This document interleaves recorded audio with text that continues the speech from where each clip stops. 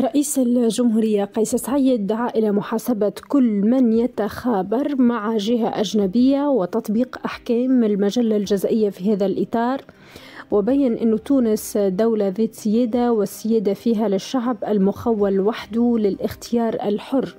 وقال رئيس الجمهورية قيس سعيد القانون الانتخابي نص على تزكية المترشح من قبل عدد من المنتخبين أو من قبل عدد من الناخبين لا مزكى من أي جهة أجنبية. يقول فهذه ليست تزكية بل خيانة للوطن وعمالة للخارج. هذا كان في آه، كلمة رئيس الجمهورية خلال لقائه بوزير الداخلية كمال الفقي والمدير العام للأمن الوطني مراد سعدان والمدير العام آمر الحرس الوطني حسين الغربي. رئيس الجمهورية أيضا تناول بقصر الحكومة بالقصبة. في لقائه برئيس الحكومة أحمد الحشاني تناول سير العمل الحكومي بوجه عام وجدول أعمال مجلس الوزراء القادم. ودعا رئيس الجمهورية إلى الإسراع بوضع مشروع قانون يتعلق بتنقيح مجلة الشغل لإنهاء المناولة في القطاع الخاص لأنها تجارة بالبشر وبعرق الفقراء والبؤساء.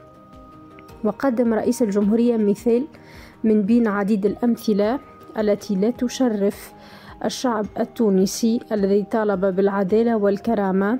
يتعلق بإحدى المؤسسات التي تتعامل مع إحدى شركات المناولة.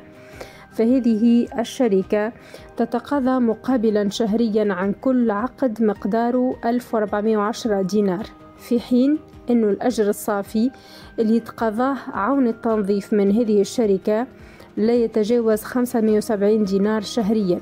وفي هذا الإطار المتعلق بالتشغيل دعا رئيس الدولة قيس سعيد إلى وضع حد للعقود المحدودة في الزمن.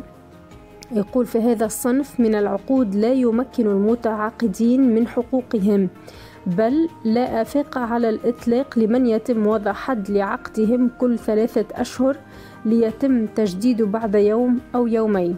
فكما أن لصاحب المؤسسة الحق في الاستثمار من حق العمال أن يعملوا في ظل نظام قانوني يمكنوا لا من الأجر العادل فقط بل أيضا من الشعور بالإطمئنان والاستقرار والتمتع بالتغطية الاجتماعية.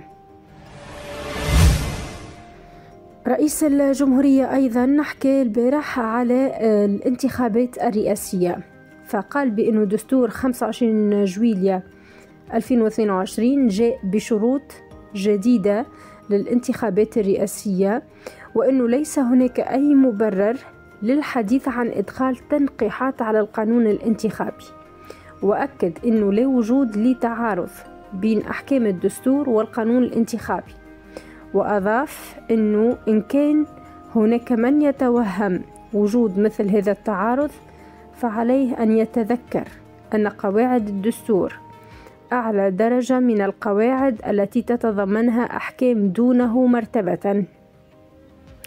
هذا كان في استقباله لرئيس الهيئة العليا المستقلة للانتخابات فاروق بوعسكر في لقاء أحكي فيه عامة على تركيز المجالس المحلية والجهوية. إثر انتخاب أعضائها واللي انبثقت عنها مجالس جهوية في انتظار معناه باش يستكملوا بقية المسار انتخابات المجالس مجالس الأقاليم.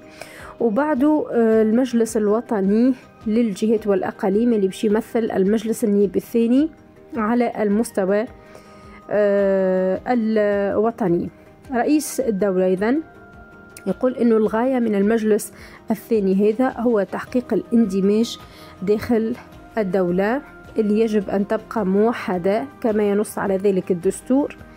آه، يقول زاد أن هناك من يسعى بصفة مقصودة للخلط بين المجالس الجهوية اللي تم أحداثها والمجالس المحلية للتنمية اللي صارت في عام 94 يقول هذين الصنفين من المجالس ما عندهم حتى علاقة بالمجلس الوطني للجهات والأقاليم.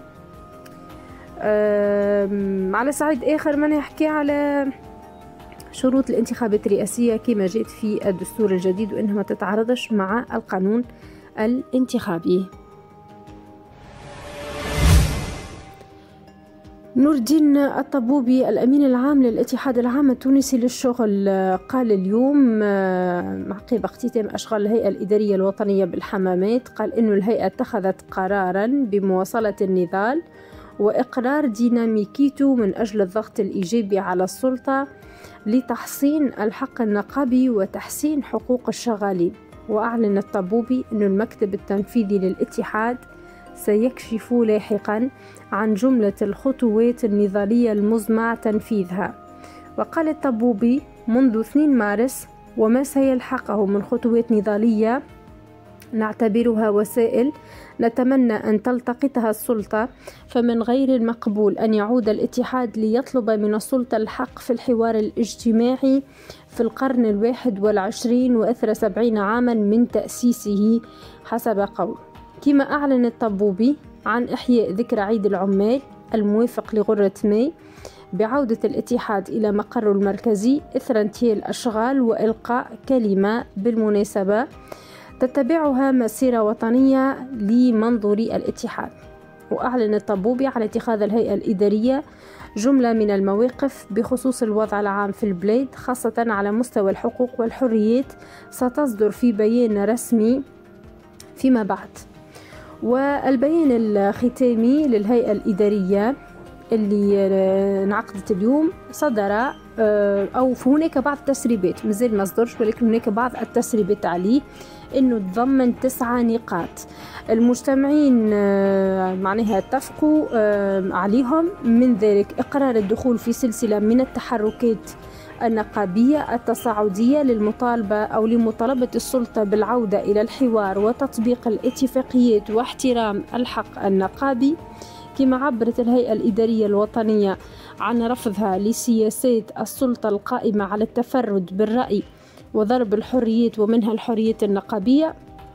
ودعت الهيئة الإدارية السلطة إلى وقف التتبعات ضد النقابيين وفي مقدمتهم السنكي لسودي وأنيس الكعبي. وندت زاد الهيئة الإدارية بمواصلة السلطة سياسة الانغلاق والتعنت. ودعت إلى مواصلة المفاوضات في القطاع العام والوظيفة العمومية. وأكدت الهيئة الإدارية أن الاتحاد طلب بإنهاء كل أشكال التشغيل الهش من من مناولة في القطاعين العام والخاص والحظائر وعقود إصدار الخدمات دعاو زاد لمراجعة مجلة الشغل. آه، سجلت زاد الهيئة الإدارية انهيار المقدرة الشرائية آه، نتيجة نقص المواد الأساسية ورفع الدعم وتردي الخدمات الأساسية. وتوجهت الهيئة الإدارية بتحية لكافة الشغالين والنقابين اللي هبوا للمشاركة في تحرك يوم آه، اثنين مارس. صلاح الدين السيلمي يقول أنه ملاحقة النقابيين لتفرغهم. النقابي هو سابقة في تاريخ تونس. حسب تعبيره يقول أنه التفرغات النقابية هذيا معناها اللي صاير عليها جدل كبير برشا أنه تونس من المصادقين على اتفاقيات دولية تنص على تسهيل العمل النقابي للمسؤول النقابي بالنظر إلى الدور الاجتماعي آه، والاقتصادي والوطني اللي يلعبوه.